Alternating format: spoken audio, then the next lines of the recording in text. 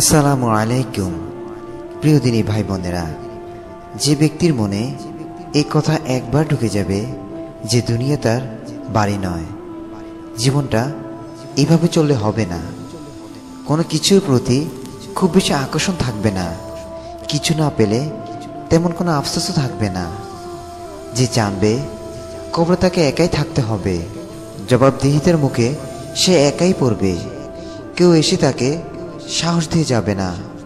অভয় দেওয়ার মতো কেউ থাকবে না। দুনিয়া জীবনে কে দূরে সরে গেল? কে কাছে এলো? এসব নিয়ে তার খুব একটা মাথা ব্যথা হবে না। আপন পর হবে, পর আপন হবে। পৃথিবীর এই স্বাভাবিক নীতিতে সে অভ্যস্ত হয়ে যাবে। যে বিশ্বাস করবে কেয়ামতের ভয়াবহ দিনে তাকে তার আমল নিয়ে প্রশ্ন করা হবে। কতটুকু নিখুঁত ছিল তার আমল।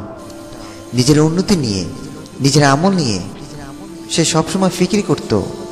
অপরের ভুলের তুলনায় নিজের ভুলগুলো, নিজের দুর্বলতাগুলো সে বেশি প্রাধান্য দিত।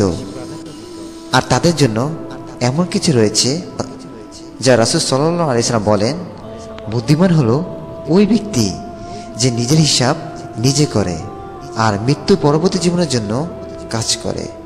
আর অক্ষম হলো ওই ব্যক্তি যে নিজের প্রবৃত্তির অনুসরণ করে।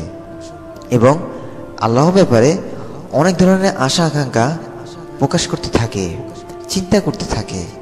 সুতরাং এই হাদিস থেকে আমরা বুঝতে পারি যে নিজের জীবন নিয়ে নিজের নিয়ে সবসময় পড়ে থাকা, নিজে যা আমল করেছি তা নিয়ে সন্তুষ্টি থাকা, যতটুকু করেছি ততটুকু পর্যন্তই আল্লাহ তালা আমার হিসাব নেবেন।